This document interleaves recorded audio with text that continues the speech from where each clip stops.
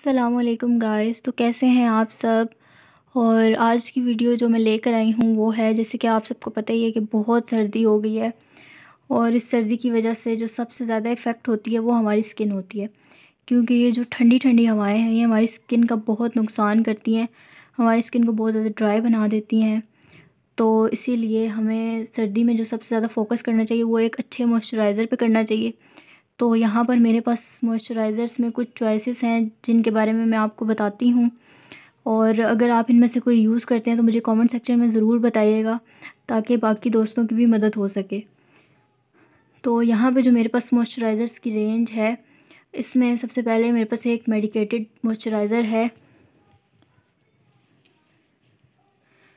जिसका नाम है hydro care hydro care moisturising lotion जैसे कि आप यहाँ पे देख सकते हैं with S P F twenty five मतलब अगर ये लगाते हैं आप तो ये मैंने ख़ुद यूज़ किया हुआ है फेस पे भी और हाथों पर भी। इससे ईचिंग वगैरह का मसला अगर किसी को होता है बहुत ज़्यादा, जैसे कि मुझे जो है सन से एलर्जी हो जाती है या कोई काम वगैरह करने से तो मैं ये लोशन लगाती हूँ तो ईचिंग वगैरह का मसला भी हल हो जाता है। स्किन पे इचिंग भी नहीं होती और अगर आप इसको देखें तो ये बहुत लाइट वेट है। इससे लगाने से कोई मतलब अगर आप सन ब्लॉक लगाएँ तो वाइट कास्ट आती है तो इससे कोई वाइट कास्ट भी नहीं आती।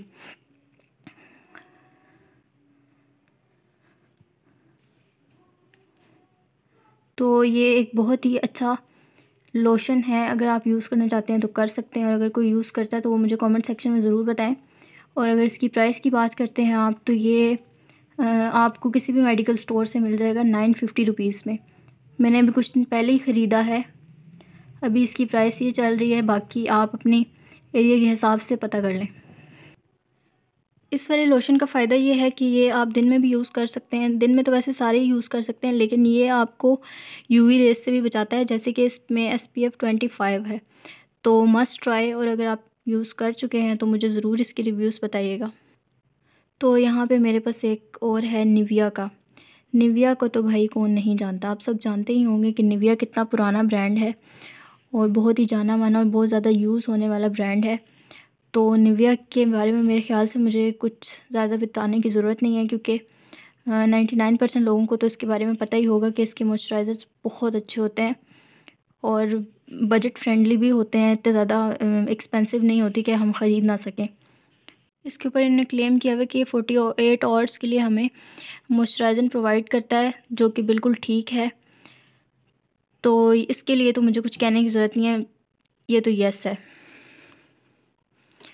और अगर आप लोग बहुत ज़्यादा ड्राई स्किन वाले हैं या बहुत ज़्यादा ऑयल आप लोग पसंद करते हैं लगाना तो मैं आपको रिकमेंड करूँगी कि ये ऑलिव ऑयल आप यूज़ कर सकते हैं। स्किन पर मैं भी रात को ऑलिव ऑयल यूज़ करती हूँ specially for under eyes under eyes में ऑयल लगाना बहुत ज़रूरी है क्योंकि जैसे कि हमारी स्किन पे बहुत ज़्यादा रिंकल्स वगैरह आ जाते हैं तो ये उनसे भी बचाता है आपको। मतलब ये एंटी एजिंग के तौर पे भी काम करता है तो जितनी हमें नेचुरल चीज़ें हो सके यूज़ करनी चाहिए, उतना ही अच्छा है। तो उसके बाद जो फोर्थ नंबर पे, जी वैज़लिन वैज़लिन भी आप सबने यूज़ किया ही होगा और करते ही होंगे। मेरा तो ये one of the most favourite है स्पेशली इन समर्स क्योंकि इसमें यूवी यूवी रेस से भी प्रोटेक्शन है। और विटामिन बी थ्री भी है और ट्रिपल सनस्क्रीन है इसमें। तो ये तो हाईली हाईली रिकमेंडेड है। तो वेज़लिन के लोशन तो मुझे वैसे ही बहुत अच्छे लगते हैं वेज़लिन और निविया के। और वेज़लिन का यहाँ पे मेरे पास एक और फ्लेवर मौजूद है, एक येलो वाला भी मौजूद था, लेकिन वो अब ख़त्म हो चुका है तो वो मैंने फेंक दिया है। तो ये है कोको ये ज़्यादातर जो है मैं विंटर्स में यूज़ करती हूँ और वो वाला समर्स में यूज़ करती हूँ।